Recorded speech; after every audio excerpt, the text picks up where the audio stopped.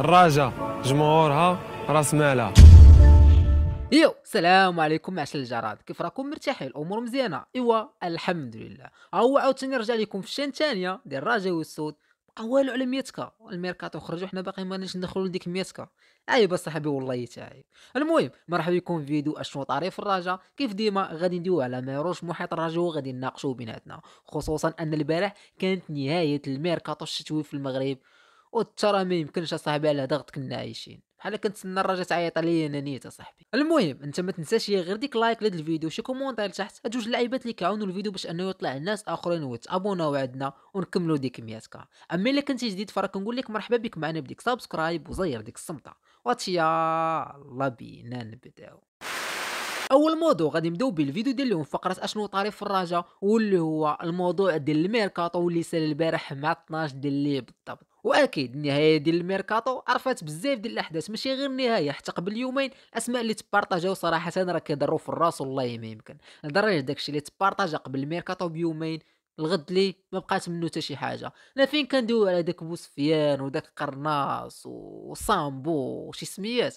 أنا ما عرفتهمش منين طاحوا صراحة. المهم النهاية ديال الميركاتو ديال البارح اللي عرفات بزاف ديال الجديد. وأولهم وهو أن الرجاء تعاقدات مع مهاجم جديد أو مهاجم أجنبي جزائري واللي هو رياض بن عياد. وهاد اللاعب هذا اللي درنا عليه فيديو البارح. الشيء على جاد عندي زعما كاينة ما خليتكمش تسناو حتى اليوم ولا شي حاجة. داك الشيء الشنطن إلا كنتي باقي ما تفرجتيش غتلقى في أول commentaire وبهذا فالرجاء غتكون كملت الصفقة الثالثة ديالها في هذا الميركاتو هذا من بعد هيرفي جاي ومن بعد أبريغو. نهاية الميركاتو اللي ما سالتش بهذا الشيء فقط لدرجة أن مع 11 59 حتى كيتبارطاج واحد الخبر آخر واللي هو رسميا مروان فخر يفسخ عقده بالتراضي مع نادي الرجاء العالمي وكيتنازل ب 80% من المستحقات العالقة. والحارس ينتقل نيشان إلى نهضة الزمامرة. ال plan هذا déjà دوينا عليه وكنا قلنا بأن مروان فخر غادي يمشي كإعارة للزمامرة. ولكن جاء الحسم في آخر الثواني على طريقة مالونغو. الثواني الأخيرة ديال الميركاتو ما خرجش لنا فقط الخبر هذا ديال الفخر وإنما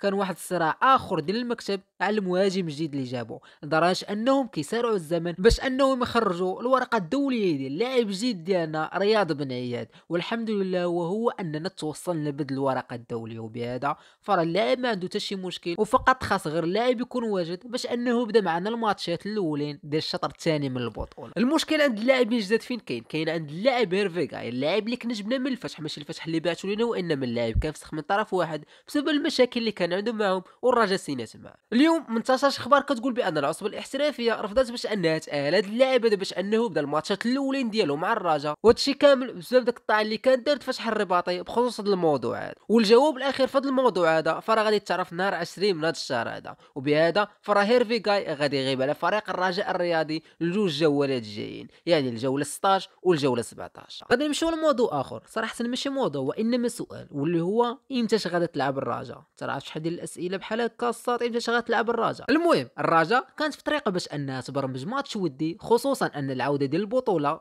البارح هادشي ما كانتش باينة وخصوصا أن الأخبار اللي كلشي عارفة بأن البطولات ما كيرجعوا حتى كيسالي الكان. وبهذا فرا الرجاء قررت باش أنها تبرمج match amical contre الترجي الرياضي التونسي نهار 7 في هذا الشهر هذا. بمجرد ما سال الميركاتو البارح بالليل انت كتسمع ليا رسميا تم برمجه مباريات الدوري الاحترافي للشطر الثاني ديالو المباريات الجولة 16 والجولة 17 وبهذا فرا عاوتاني غادي نشوفوا بطولة البشير أرينا الجولة 16 اللي غتكون ما بين 7 8 من هذا الشهر هذا وجوله 17 اللي غتكون نهار 10 11 من هذا الشهر هذا. يعني فرا الرجاء contre برشيد في الجوله 16 اللي غتكون غالبا يا أما 7 يا أما 8 بخصوص البرمجة كاملة باقي ما تلاحتش بخصوص شكون هو الحكام وال terrain اللي يتلعب فيه والوقت اللي يتلعب فيه. وصراحة هادشي هو اللي كيتسنى كلشي هادشي كلشي باغي يعرف الرجاء فين تلعب خصوصا أن اللاعبين ضد برشيد والرجاء كتستقبل في برشيد. فراه هذا plan بوحدو وكنتسناو الجواب ديالو كيفاش غادي يكون. المهم حاليا غادي نمشيو نديرو واحد الملخص بسيط ديال الميركاتو الشتوي ديال الرجاء في عام 2024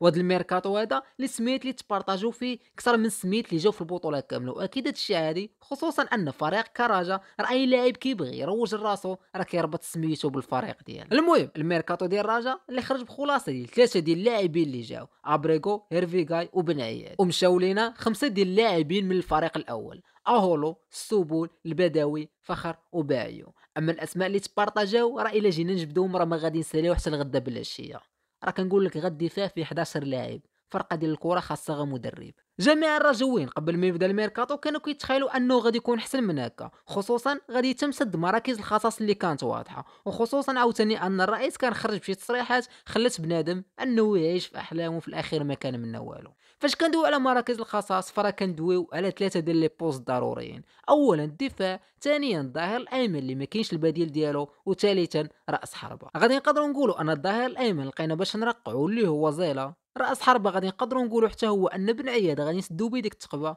ولكن راه باش نكونوا واقعيين الدفاع راه باقي فيه الخصاص. وهذا الشيء ما ينسيناش حتى في أهم حاجة اللي كانت في الوقيتة ديال الميركاتو واللي هو رفع المنع اللي كان عند الفريق واللي كان المجموع ديالو ما يقارب 900 مليون بالمنع الدولي والمحلي. والحمد لله أن الفريق نجح باش أنه يحل هذا الموضوع ونجح باش أنه يقيد اللعابه الجداد ديال الفريق. وغادي نختموا هذا الميركاتو هذا بواحد الهضرة اللي مهمة. حاليا الميركاتو ولا من الماضي وأي كلام عليه ولا معاتبة شي شخص فراه غادي يكون بدون فائده خصوصا في الظرفيه هذه فالمعاتبه كتجي من بعد الاخفاق اما التراس وحنا باقي لينا سيمانه البطوله فراه غادي يكون غدا الدراجه فجميع اللاعبين ومنهم حتى الانتدابات الجداد فراهم ولاو وحدين منا ولابسين tenue اللي حنا أصلا كنشجعوه فراه واجب علينا اننا ندعموهم ونوقفوا معهم فموعدونا من بعد النتيجه النهائيه الا كانت ايجابيه وغترضي الجمهور فراه هادشي اللي كنتمناو اما الا كانت سلبيه راه الهضره غترجع للمسؤول الأول اللي خاصو يتعاتب على داكشي اللي ما دارش لنا في الميركاتو. وأحسن حاجة ممكن أننا نساليو بها هادشي كامل واللي هي كل الدعم لمن يحب الخير للنادي. اللهم يسر فيما هو جاي. وأكيد قبل ما غادي نساليو الفيديو ديالنا ما نساوش باش نقولوا بالشفاء العاجل رئيس الرجاء محمد بودريقة اللي كيعاني من واحد الواكه صحية واللي غادي يدير عملية جراحية.